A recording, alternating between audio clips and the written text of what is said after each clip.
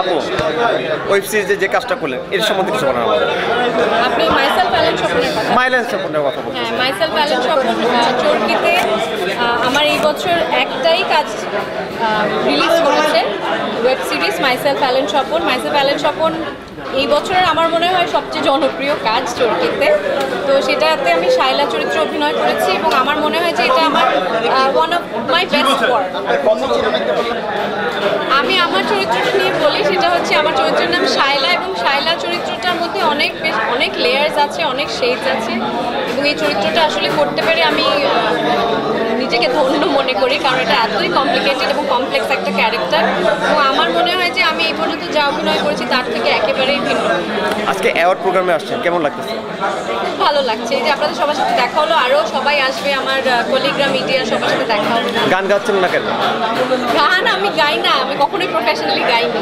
মাঝে মাঝে দেখা যেত যে আপনার গান শুনতাম আমরা ফেসবুকের মধ্যে। সময় কেন? যদি সেই রকম ভালো গল্প পাই চরিত্র পাই তাহলেই আসবে। আমি তো খুব কম কাজ করতে পারি আমার ব্যক্তিগত একটা প্রশ্ন আমরা প্রায় আমরা প্রায় দেখি ব্যক্তিগত প্রশ্নের উত্তর আমি দিব না thank you best social activities.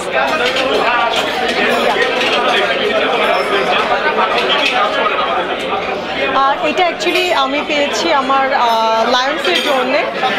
Lions Club of Dhaka Paradise গোল্ডের আমি এবছর দু হাজার তেইশ এবং দু হাজার চব্বিশের প্রেসিডেন্ট হিসেবে নির্বাচিত হয়েছি। সো আপনারা অনেকেই জানেন লায়ন্স এমন একটি সংগঠন, এমন একটি অর্গানাইজেশন যেটি শত বছর যাবৎ মানুষের কল্যাণে আমরা ভলেন্টারি ওয়ার্ক করে যাচ্ছি। সারা ওয়ার্ল্ডে এইটার লায়ন্সের এই সংগঠন লায়ন্সের হেড অফিস আপনারা সবাই জানেন। আর বাংলাদেশে আমি আমারই একটা ছোট্ট ফোরামের আমরা কাজ করার চেষ্টা করে যাচ্ছি। আমরা সব ধরনের ভলেন্টিয়ারি ওয়ার্ক করার ট্রাই করি।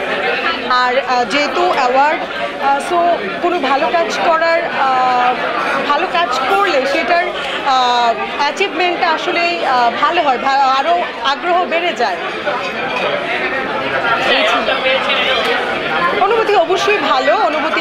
অবশ্যই ভালো, কারণ যাতে আমি আরও ফিউচারে আরও ভালো কাজ করতে পারি, ইনশাল্লাহ ফিউচারে আরও ভালো কাজ করতে পারব।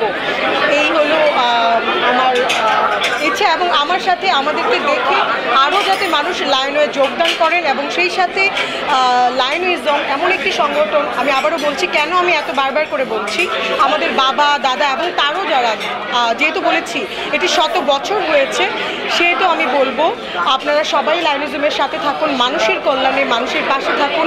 শুধু দেশে নয়, সারা পৃথিবীতে আমরা মানুষের কল্যাণে মানুষের জন্য কাজ করে যাব।